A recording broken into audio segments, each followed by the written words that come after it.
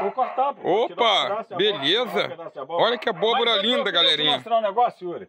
É, várias plantas que são medicamento, elas têm um formato.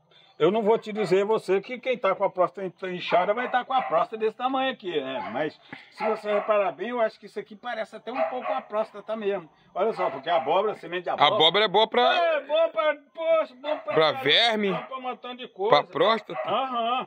É, tanto que você tem casa aí que você vê que vende semente de abóbora. Vende. Uhum. E uma abóbora dessa aqui. Eu não vou dar mole não com essa semente aqui- aí não, brother. Não, pois é, vai dar pra você comer a abóbora. Opa, olha que Olha linda. que linda essa abóbora. Entendeu?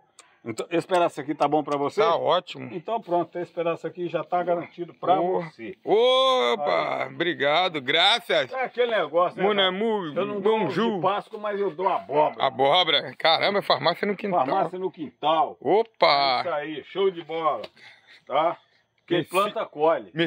merci beaucoup, Né? merci beaucoup, É, Je suis brésilien. merci beaucoup.